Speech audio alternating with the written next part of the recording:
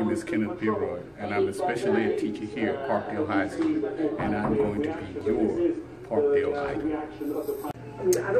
Hi, I'm Joanne Porter, and I'm in ISCA. Um, and guess what? I am the next Parkdale Idol. How you like me now?